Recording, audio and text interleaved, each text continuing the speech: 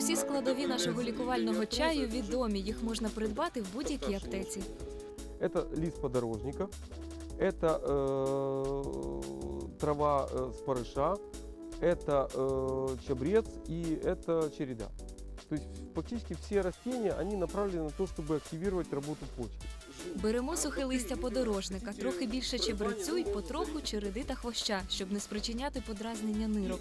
Заливаємо все окропом, накриваємо кришкою і настоюємо 15-20 хвилин. Можно теперь его использовать по 50-70 мл минут за 15 до еды 4-5 раз в день и между приемом пищи. Таким образом мы решим проблему и артрита, и артроза. То есть активируем и работу почек, и заодно работу печени. То есть очистим организм и суставы в том числе.